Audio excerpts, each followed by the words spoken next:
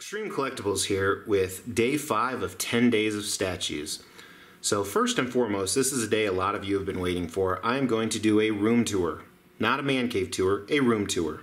In my man cave, I actually have seven different rooms full of statues. This is going to be one. I have done one before that's changed my uh, theater room, so go check that out if you haven't seen it yet.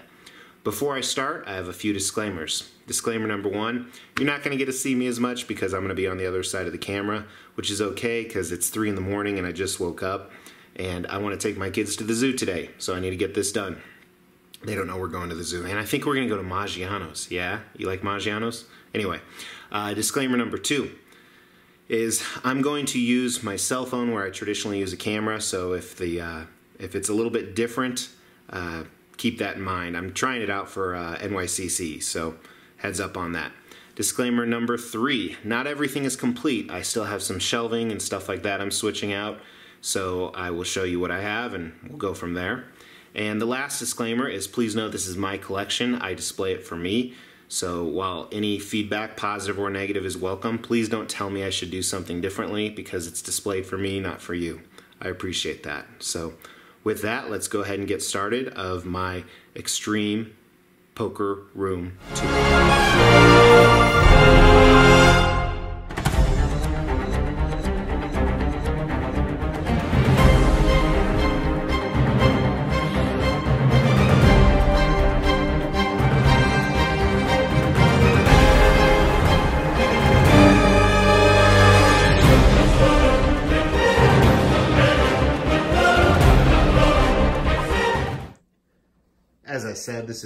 Two of seven. The first room is the theater room, which I have done an older review on that, an older room tour. So go ahead and check that out. It has changed quite a bit since then. I'm actually currently standing in the theater room. This is what I call the music and poker room. So prior to statues taking over, it was a poker table in the middle. You can actually flip up that uh, table, and on the other side is a felt poker table. You see it in some of my earliest on reviews. And then I have a bunch of music memorabilia, autographs signed on the walls. That is something we will look at at a later time. So nowadays is this is where all the magic and the filming happens if you recognize the Spider-Man display.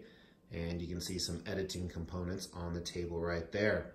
I did remove the lighting as it reflects off some of the cases and it just wouldn't make so good, but let's kind of dive in Here's a temporary display on the side here.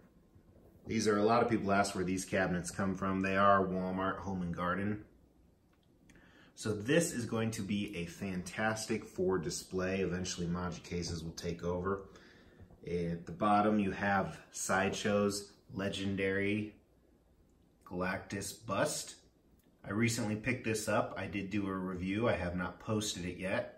I have Sheridan Deuce's custom thing, and then I have some custom Fantastic Four pieces coming with Silver Surfer, another Doctor Doom, and another Thanos to add to uh, this display, and it's going to kind of catty corner around the side. Over here, the counter, this is kind of some of my uh, doctoring stuff. I keep extra pieces, some glue, as we know, shit does happen.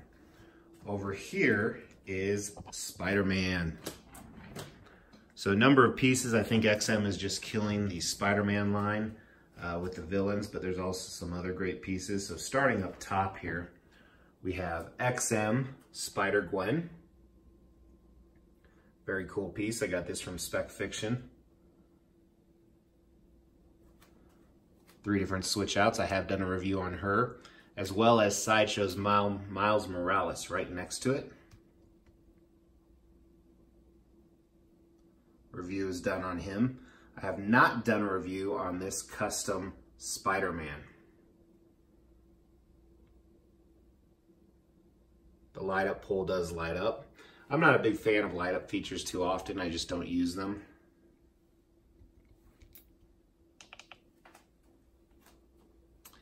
Then we have Sideshow's Green Goblin. I do plan on replacing this guy with a custom one that I have on order. But I think it's a fabulous piece.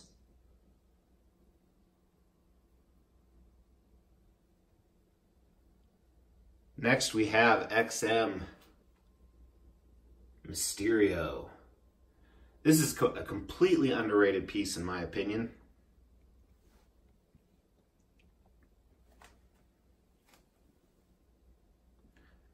Then Sideshow Comiquette Spider-Man. Again, a very underrated piece.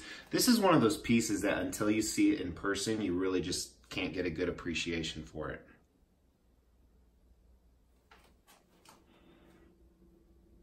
XM Scorpion, I was lucky enough actually to get this below retail because I pre-ordered it like a year before it came out.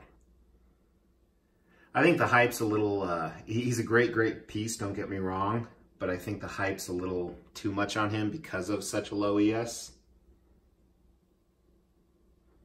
And then Custom Hobbs, four different switch outs. I have done a review on him. I think I've done a review, I did a review on the XM Scorpion as well.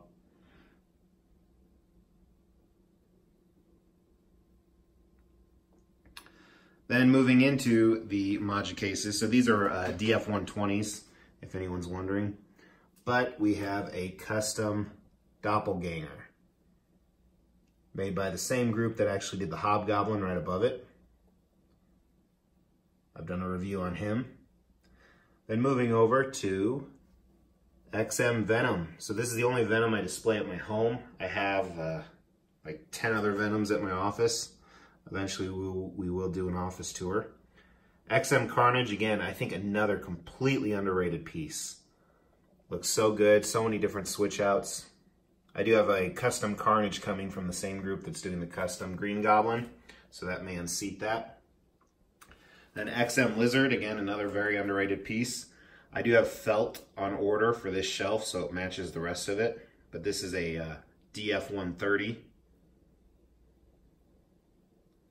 Then below him, one of my favorite characters, I'm so glad somebody did it, uh, Morbius. This is a custom quarter scale. I did a review on him as well. I also need to get a light installed right above him, so that's why it looks so dark.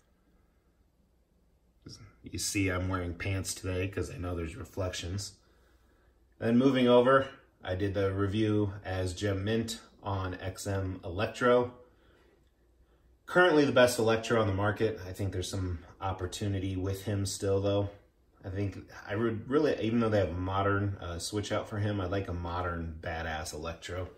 And then Sandman, again, another very underrated piece. I think this piece right here kind of proves that space is extremely important because he takes up so much space. A lot of collectors just don't go for him. So then moving back up, I have shit on my windowsills. And I get questions all the time, aren't you worried about uh, sunlight? Well, not only do I have UV protectant, but I actually have brown film on my windowsills. So let me see if I can kind of show you what I mean. So I keep a close eye on them, make sure it's not fading. To date, I haven't got anything. So moving over to the section to the right of Spider-Man, this is what I call my movie collection, particularly first is my horror collection. This is Sideshow, all Sideshow right here, starting with uh, Jason. I think this is the most badass station, statue out there with the exception of ECC's new piece. But I wanted to stick with uh, quarter scale. Followed closely by Freddy, same opinion regarding this Freddy and the ECC.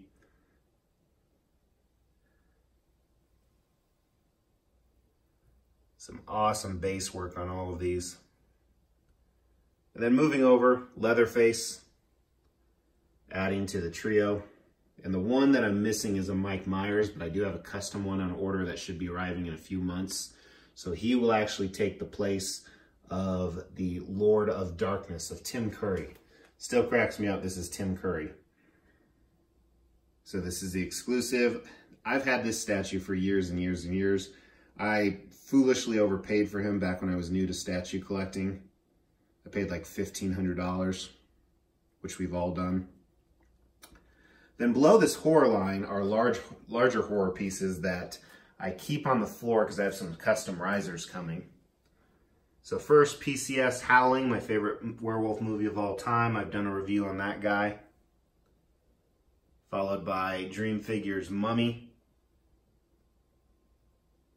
Review has been done on him. And ARH Medusa. I wanted the rattlesnake one, but I got her, I think like $800, $700 shipped a long time ago. So I just couldn't pass that up because shipping alone is like $300 on her. Two huge boxes. And she is a great piece. I just wish she was more evil like she is in the uh, rattlesnake one.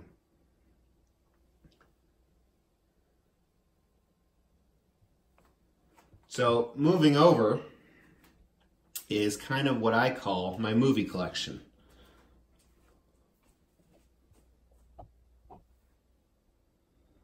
So first, whoa, we have Tremors. If you don't know what Tremors is, this is a custom piece. I technically don't know what scale this is. I don't know if I've done a review on him or not. I don't think I have. I may have. And uh, no, I haven't. Uh, this is probably 1 20th of what they are in real life.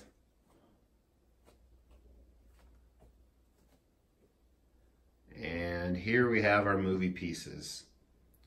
So starting at the front, you have T2 Sideshow, completely underrated piece. You can get this for like $300 or cheaper sometimes. T2 is one of the best movies of all time in my opinion. Followed by a custom quarter scale blade. Eventually I will do a review on this guy. And he has like 30, 40 switch outs. He just looks awesome. And the base is just killer if you've never seen it. I have done a review on this HCG uh, Sil statue. It's okay. I got it for a hundred and something dollars. Then same people who made the custom Hobgoblin and the custom uh, Doppelganger made this Crow piece right here, which I think is awesome. To me, The Crow is a really, really good movie, but I think conceptually it was better than the execution. While there were some really cool things in there, but I absolutely love the character. And then behind him, another villain, Mola Ram. Temple of Doom, this is Sideshow. And again, just an awesome piece. I'm still waiting on somebody to make an awesome Indiana Jones I like. Sideshow's done a few. I've been tempted to pick up the Sideshow Temple of Doom Jones. And of course, you guys have seen the review on my Iron Studios Vader.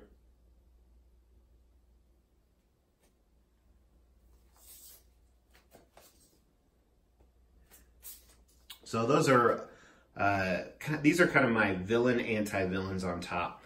And then below, we kind of have my heroes, so to say, with, with a little bit of exception. But inside the Magicase Max 140, starting at the back there, you have Blitzway Rocky 2. Just an awesome, awesome piece. Sideshow's Conan in the middle. Another awesome piece. I think the scale's a little bit off on it. It's a premium format, but it looks more like one-fifth.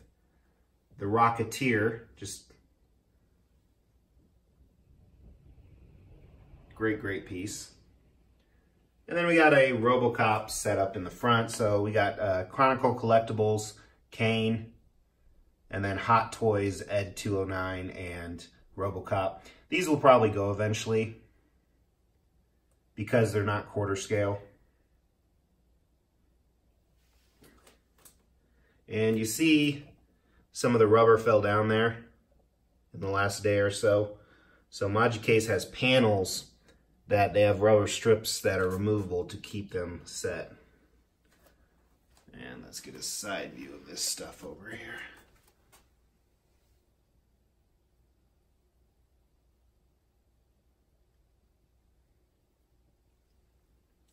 So at the end, one thing I'm trying to do, I'm trying to show you guys close-ups and then how the collection looks from farther away.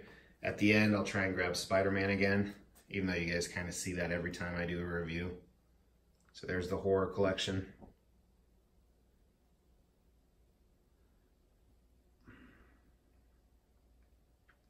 Followed by the movie collection.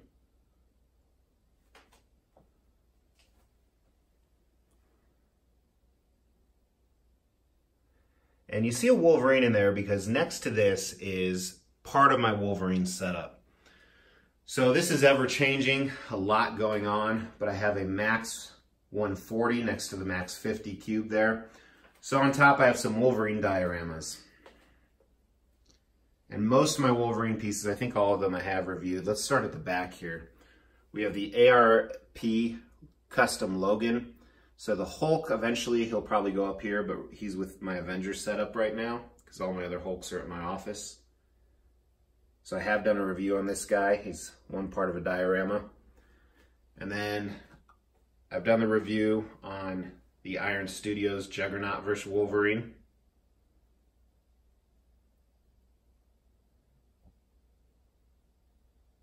And review on my custom painted Sideshow Hulk vs. Wolverine, painted by Jason, who does my just awesome, awesome job. So all three of those there's reviews on. Then below is kind of my X23 Wolverine setup. So this is temporary, but a lot of stuff going on. And we're going to train. At the back, you have the custom. Very hard to see with the reflection right now. In person, it's very easy to see. X23 Wolverine diorama. And then you have Sideshow's X23 right in front. And I've done a review on every single piece. Paired with her companion piece, the Wolverine premium format. And these are right behind the X23 Logan custom motorcycle. So I've done reviews on all these pieces. So this, these are all kind of dioramas. These are X23s. These are larger enemies, Hulk. I do have, I think, three more Wolverine versus Hulks. And then, moving over here, we have our silly characters. So, obviously, Chubby Wolverine kind of goes with Wolverines. Deadpool, Chubby Deadpool, Chubby Batman, and Bat Duck. I've done reviews on all of these pieces as well. And I have the same thing going on with the window. So here's a farther away view. And then below here, I have some custom risers coming for larger pieces. First one is the Fastball Special. If you'll notice, there is a different base with that than when I reviewed it. I have reviewed this custom base as well. I just haven't aired it yet, but I did that for space. And I have two other very large Wolverine dioramas, Wolverine versus Ninjas, going right here. And then that brings us over to my Wolverine Deadpool display. Which these are DF 120s from Magicase. So up top, we have the Sideshow Premium formats. First, the Deadpool. I think this is a spectacular, spectacular piece. It really encompasses Deadpool and just the dynamics of it are really, really cool. I have not reviewed these ones, but... And then the Lady Deadpool I got because the portrait is just killer. I think uh, Eddie did uh, turn this one into a domino, and that looks great too. And then in the middle is the ARP custom piece, Deadliest Mercenary. I don't think, I think these will be some of the first ones I sell, even though they are great. I just, I don't know. Eventually this will be a full Wolverine display. Here's kind of my current X-Force setup. I think XM is still the best cable. I know it's not as comic accurate, but to me, I just dig it. You guys have seen one of my favorite pieces, X-Force uh, Wolverine versus Ninjas. And X-Force Deadpool Premium Format. They all look great together. Then at the bottom, we have phase two. I need to figure out how to get this up higher. It needs to be displayed. And again, all these Wolverine pieces I have reviewed. So, as you can see, lots of room down here. I need to figure out something to do with the cords too.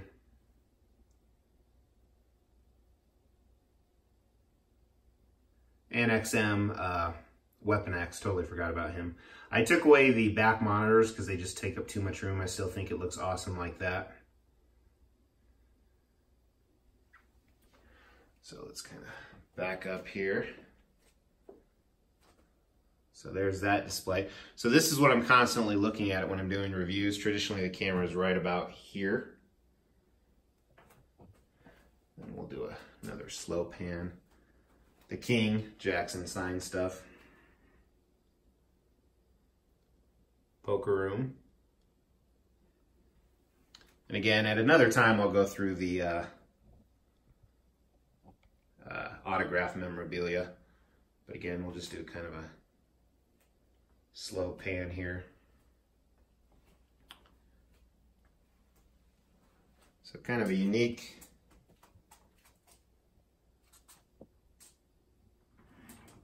setup.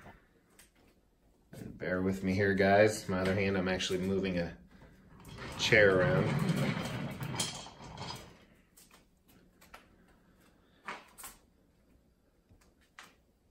And here's a the Spider-Man setup.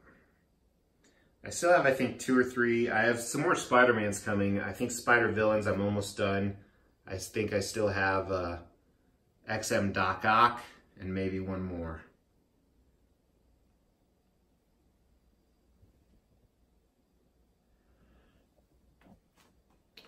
Let's flip it around here. So that is it, guys. Once again, I apologize for the horrible lighting. I really hope you enjoyed this, though, and uh, a serious collector, their uh, collection, not only is their collection ever-changing, but how they display it. So I'll do updated room tours once I get everything done. Uh, not only in this room, but all the other rooms. But I really appreciate you watching. Please drop me a subscribe and like if you have not already. If you have any questions on pieces that are not custom on where did you get it, please feel free to ask those as well. But uh, thanks for watching, guys. See you tomorrow for day six.